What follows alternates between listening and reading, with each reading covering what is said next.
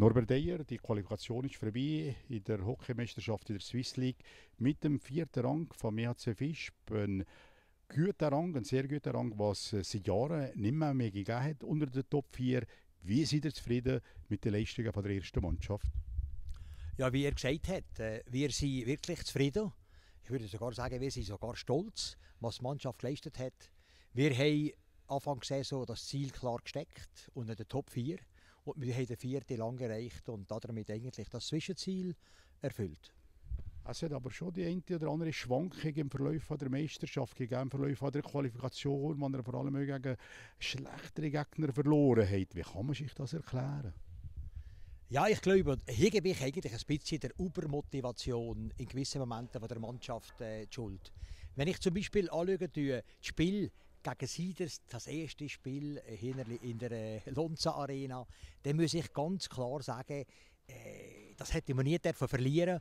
Die Mannschaft war top motiviert, hat zu viel wollen, vielleicht auch zu viel gedeicht, statt intuitiv zu spielen und haben den Match verloren. Und äh, es ist eigentlich noch gerne so, dass man, wenn, wenn eine Mannschaft in eine neue Halle oder in ein neues Stadion kommt, dass man durch die Übermotivation hintermal eigentlich Spiele, die man selten gewinnen, verliert sportlich also gut gelaufen. Die erste Saison hier in der Lons Arena, äh, was seid ihr, wie seid ihr zufrieden so zum Beispiel mit dem Zuschauerzuspruch? Ja, von den Zuschauern her muss ich sagen, sind wir eigentlich sehr zufrieden. Äh, klar, wir haben hier natürlich in der Halle 5000 Zuschauer. Und wenn natürlich 2800 äh, Zuschauer da sind, dann sieht die Halle relativ leer aus. Und dann hat man das Gefühl, ja, heute ist nicht so häufig da.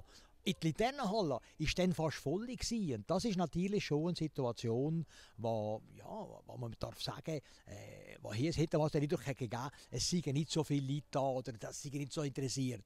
Aber ich darf ganz klar sagen, wir haben wesentlich mehr Matcheintritte und eure Saisonkarte, als was wir eigentlich letztes Jahr äh, hatten.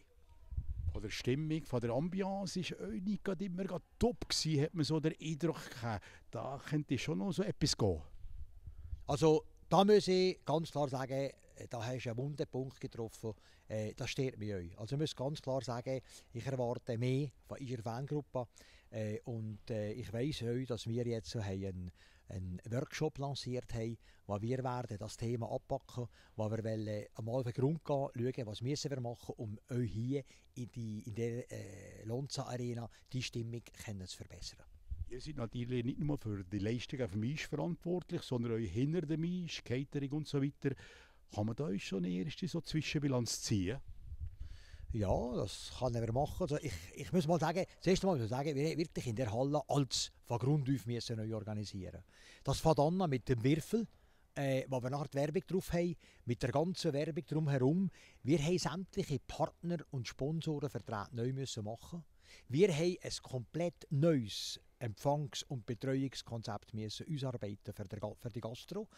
Und da müssen wir schon sagen, das natürlich ein Haufen Arbeit. Gewesen. Nachher haben wir 16 Mundlöcher.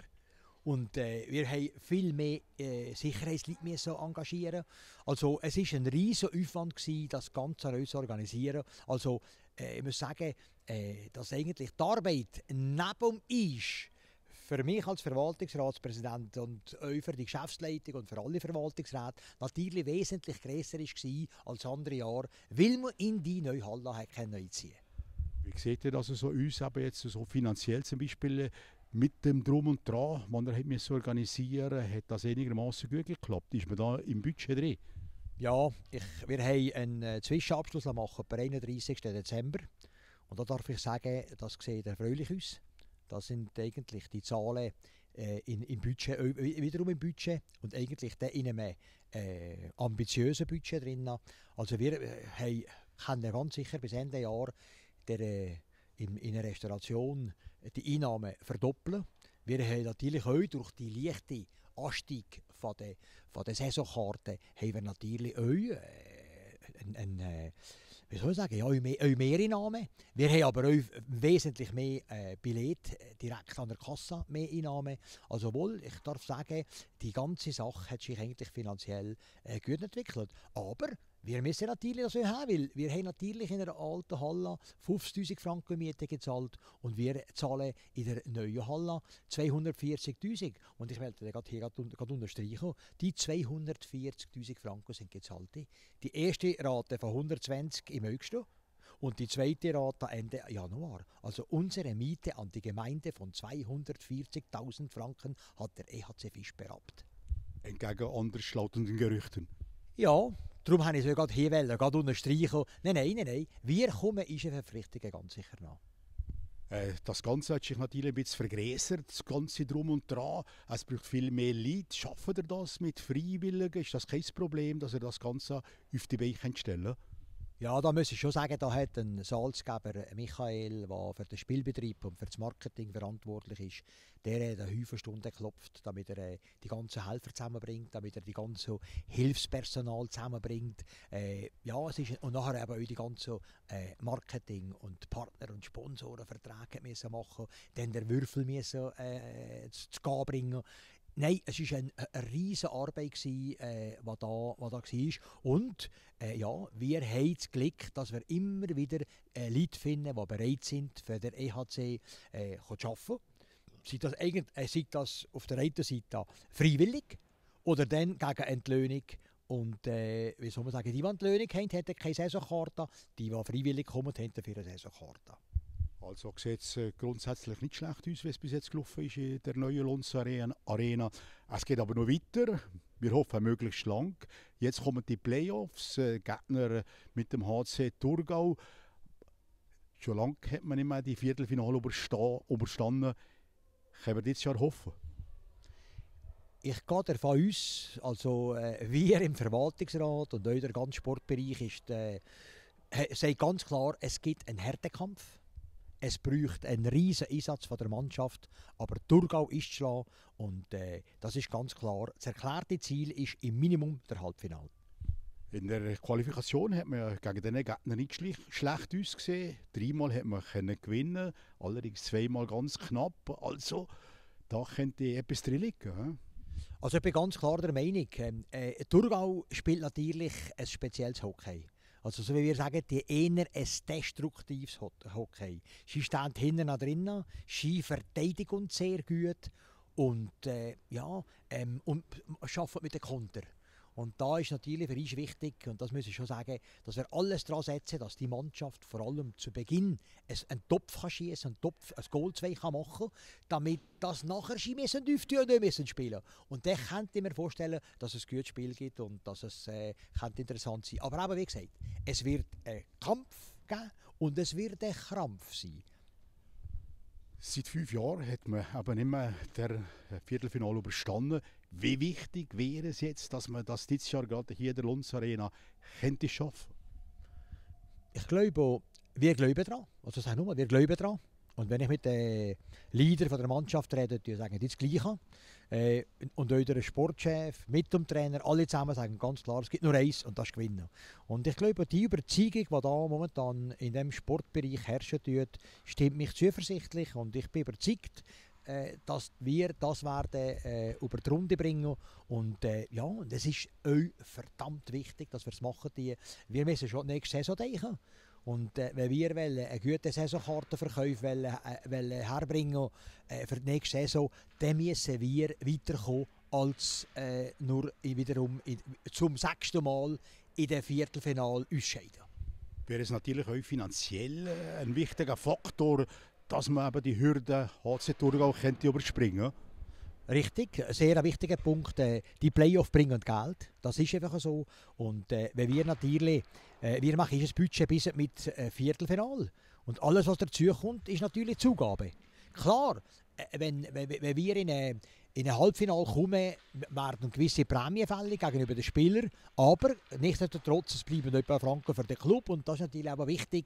Die ganze Gastronomie, die mit äh, und so. Also ich muss schon sagen, äh, jede Runde, die wir weiterkommen, die bringt Geld. Und das Geld ist nicht für den Nischensack, sondern das Geld ist für die Investition in das nächste Jahr, in die nächste Saison, für wiederum eine gute Mannschaft. Playoff also wichtig für die nächste Saison Ein wichtiger Faktor sind aber sicher auch die, die Transfer. Das ist natürlich auch nicht etwas, was für die Saisonkartenbesitzer wichtig ist. Was ist für eine Mannschaft da?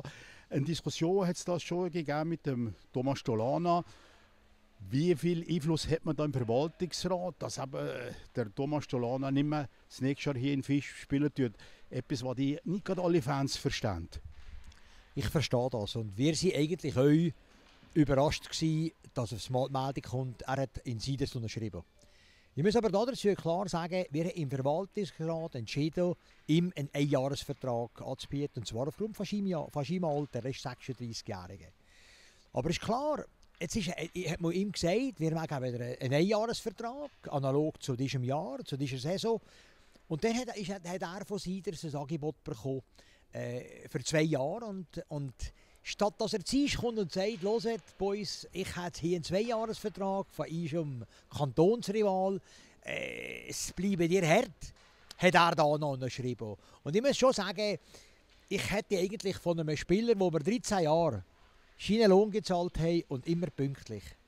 Und auf jeden Franco, hätte ich eigentlich schon erwartet, dass er zurückkommt und uns noch eine Chance gibt, um können, es, um können, es, äh, äh dass, dass wir darüber noch mal reden Also, ich weiß auch, dass da scheine Agent, scheine Spielvermittler auch ein bisschen ein dubioses äh, Spiel gespielt hat. Und, aber wie gesagt, es ist passiert. Und ich bin der Meinung, mit der Anstellung vom Haas, der von Olto kommt, der übrigens zusammengespielt hat mit dem äh, Berger bei den, äh, bei den Tigers, ich glaube, das ist eine ganz gute Kombination und äh, tut auf wieder ein paar eine sehr gute zweite Linie äh, für die nächste Saison. Die Zuschauer schauen natürlich auch, was könnte für ein Ausländer-Duo das nächste Jahr hier in der Lunds Arena sein. Äh, wie ist da der Stand der Dinge? Ist man auf dem guten Weg? Die beiden Ausländer von diesem Jahr wären nicht schlecht für die nächste Saison. Ja, ja. Also ich muss ganz klar sagen, der Treu macht ja jetzt die letzten Spiele ein super Spiel.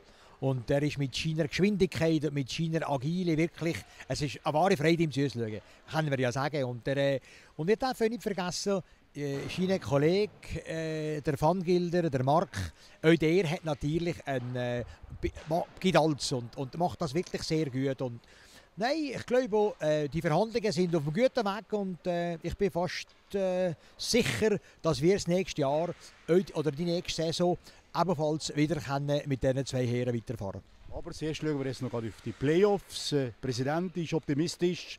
Es geht gut in dieser Saison. Also ich sage nur mal, wenn ich vorher schon gesagt habe, ich wiederhole mich, äh, verlieren in ein Viertelfinal verboten. Und dann kommen wir ins Halbfinale. Und Halbfinale wissen wir also jetzt schon. Gegen, gegen, gegen Kloten. Das gibt ein verdammt Herz-Ding. Äh, äh, Aber äh, wir können uns da natürlich auf ein paar sehr, sehr schöne Spiele freuen. Also in dem Sinn, mal, ich bin gutes Mutes. Besten Dank, äh, alles Gute für die Playoffs und wir hoffen auf viel Erfolg von mir zu Fischb.